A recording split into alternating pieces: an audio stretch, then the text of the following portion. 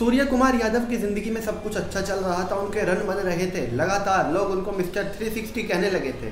लेकिन फिर हुआ कुछ यूँ कि जैसे ही इंडिया और ऑस्ट्रेलिया की वनडे सीरीज़ शुरू होने वाली थी, उससे पहले उनके साथ तस्वीर खिंचा ली एम चाय वाला ने। उसके बाद से सूर्य कुमार यादव के ऊपर जो पनौती लगी है, उसके बारे में तो क्या ही कहें। सूर्य कुमार यादव को तीनों मैचों में मौका दिया, टीम मैनेजमेंट ने। इस सीरीज़ में कि वनडे प्लेयर बन जाए सूर्य कुमार यादव। हम संजू सैमसन को मौका कभी नहीं देंगे और हम तो सूर्य कुमार यादव को ही वनडे प्लेयर बनाएँगे।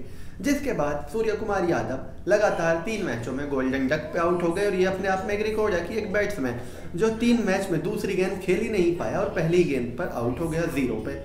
इसके बाद इंडिया का मैच भी फंस गया है तीसरा और दूसरी तरफ़ टीम मैनेजमेंट पर भी सवालिया निशान है। कि अगर संजू सैमसन एक मैच में दस रन पे भी आउट हो जाए, बीस रन पे भी आउट हो जाए तो उनको तो बीस मैच के लिए बाहर बिठा दिया जाता है। लेकिन फिर सूर्य कुमार यादव को शून्य कुमार यादव बनने का मौका क्यों दिया गया? दो गोल्डन डक के बाद भी। और अब लोग ट्विटर पे भी सूर्य कुमार यादव को ट्रोल कर रहे हैं, शून्य कुमार यादव कह के।